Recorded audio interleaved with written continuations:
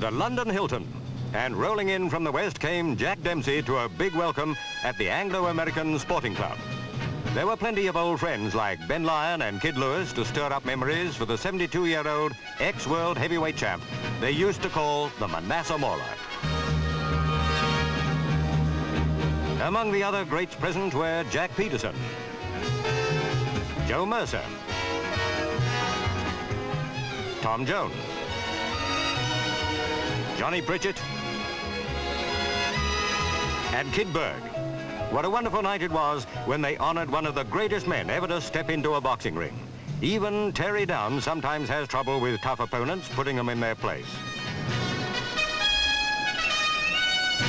Everyone was having a grand time, but there was the serious business of the evening yet to come, boxing. It was a night to remember.